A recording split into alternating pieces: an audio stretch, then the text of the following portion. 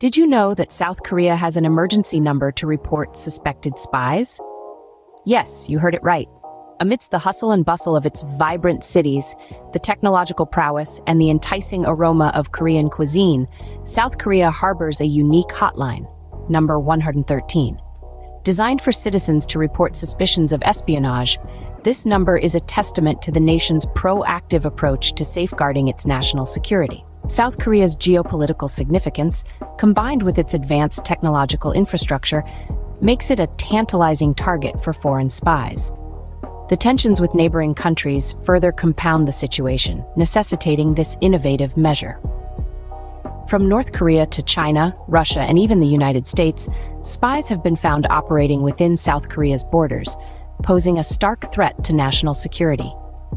The 113 hotline is a direct response to these challenges, a beacon of hope for a nation standing tall amidst the trials. So how did this number come into existence? South Korea's National Intelligence Service rolled out the 113 hotline in 2011. This was a significant year for the country as it marked a renewed commitment to national security. South Korea, due to its geopolitical significance and technological infrastructure, has long been a target for foreign espionage. Spies from North Korea, China, Russia, and even the United States have been found operating within its borders. These covert agents have, at different times, disrupted political events, stolen national defense secrets, and even recruited South Korean citizens to act as spies in other countries. The impact of such activities on national security has been both devastating and disruptive. The introduction of the 113 hotline was a direct response to these threats. It provided a quick and efficient way for citizens to report suspected spy activity around the clock. This unique initiative has played a crucial role in diverting these incidents directly to the National Intelligence Service, thereby strengthening the nation's security. But what's the importance of the 113 hotline, and how can it be used effectively? Simply dialing 113 to report suspected spy activity is easy and efficient. When making the call, it's important to provide as much detail as possible about the individual you suspect.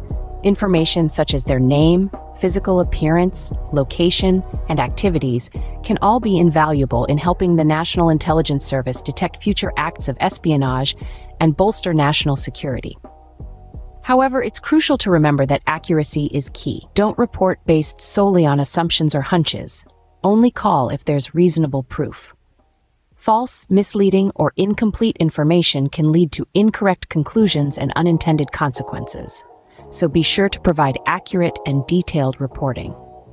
The importance of the 113 hotline in national security cannot be overstated. It's an innovative tool that has significantly increased the success rates of monitoring spy activities. By using this hotline, citizens are actively contributing to the safety and security of South Koreans. In conclusion, South Korea's 113 hotline is an innovative measure that has significantly increased the success rates of monitoring spy activities, contributing considerably to the safety and security of South Koreans.